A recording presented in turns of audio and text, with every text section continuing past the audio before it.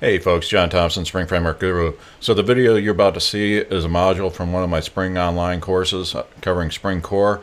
Uh, I hope you enjoy it and a lot of good content in here. And if you like what you see, please head over to my website, springframework.guru, and you can learn more about my courses there.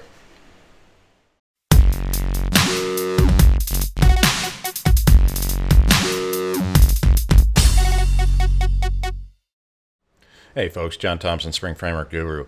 So we're going to take a look at doing some initial configuration of Spring Security here. And what we did in the last module, we added in the, the security features.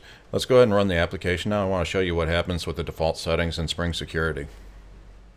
Okay, since we last looked at our project, the only thing we did is we went in and added in the Spring Security Maven dependency.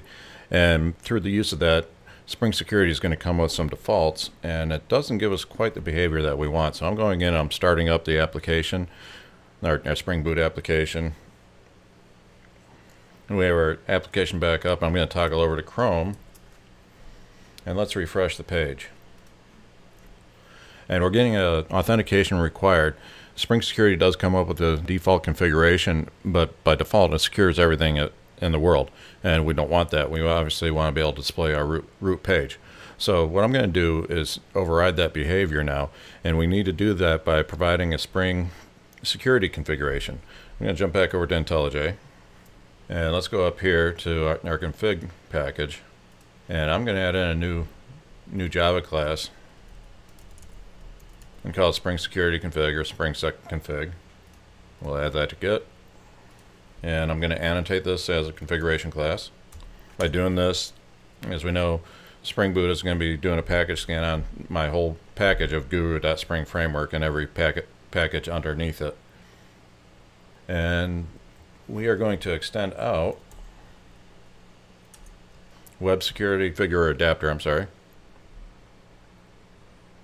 And we want to override configure with HTTP security. And this time we want to say the HTTP, and that's how we add authorize request.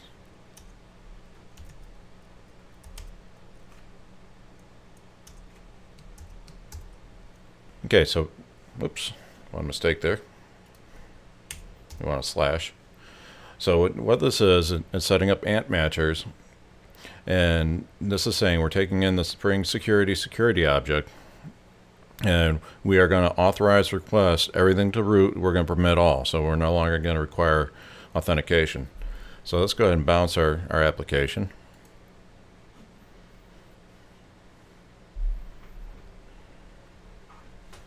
I'm going to go back over to Chrome. Cancel this and refresh. And now we're back to having the same functionality that we did. Still have the application running as it did, but now Spring Security is installed and, and working. Now, it might be a little confusing. We added Spring Security, which secured the website, and then I, I took a configuration to basically open up everything. Spring Security is there, but it's not securing anything right now. I just opened up the world on the website to it. And in future modules, we're going to be locking that down progressively. But I wanted to change the behavior of the website for now to, to allow all and we still have to go forward with some additional configuration steps inside of Spring Security, but this is just a way to, to step into getting you introduced to Spring Security configuration.